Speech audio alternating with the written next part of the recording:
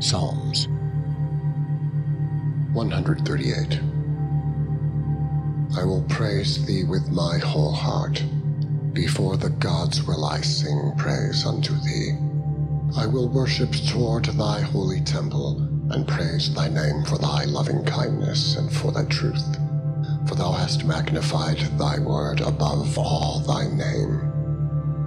In the day when I cried, thou answeredst me, and strengthenedst me with strength in my soul. All the kings of the earth shall praise thee, O Lord, when they hear the words of my mouth.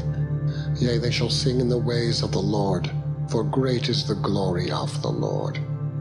Though the Lord be high, yet hath he respect unto the lowly, but the proud he knoweth afar off.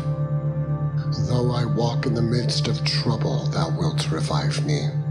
Thou shalt stretch forth thine hand against the wrath of mine enemies, and thy right hand shall save me.